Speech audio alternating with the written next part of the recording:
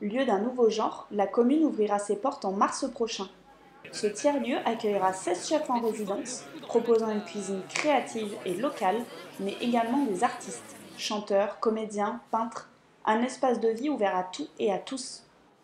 La commune, c'est une, une, sorte de tremplin culinaire et artistique euh, dédié à la nouvelle scène culturelle et culinaire euh, régionale, locale, que l'on espère euh, sera bouillonnante, euh, surprenante. Ce projet est né euh, d'une volonté vraiment de, trouver des lieux qui font sens, où on peut recréer du lien. La commune, c'est aussi le petit côté en effet révolutionnaire qui est là pour ouvrir de nouveaux horizons et permettre à un nouveau lieu d'un nouveau genre de naître.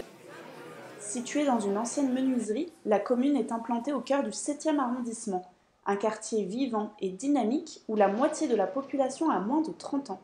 Le 7e arrondissement, c'est un très bel arrondissement euh, en devenir, qui se construit avec euh, un potentiel euh, dans le quartier, avec l'implantation de grandes entreprises. Tout se construit autour de nous, donc on a en effet beaucoup de chance d'être dans cet arrondissement de Lyon, jeune et dynamique. D'une capacité de 700 places, le lieu ambitionne également de mettre en place des ateliers et de proposer des services à ses clients. Il faudra encore attendre deux mois avant de pouvoir découvrir toutes les facettes de la commune.